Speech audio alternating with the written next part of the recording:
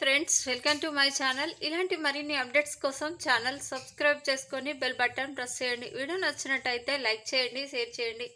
ఇక జెండే అనడంతో రాజీ మాత్రం ఏంటి సార్? ఏంటి జెండే సార్? మీరు అంటున్నది అని అంటూ ఉంటుంది. తర్వాత జెండే మాత్రం ఏంటి? నేను అన్నది ఏమీ అర్థం కావట్లేదా నీకు?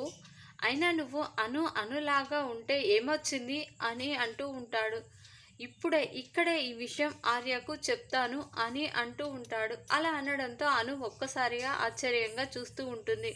అవును నేను ఇప్పుడే ఇక్కడే చెప్తాను.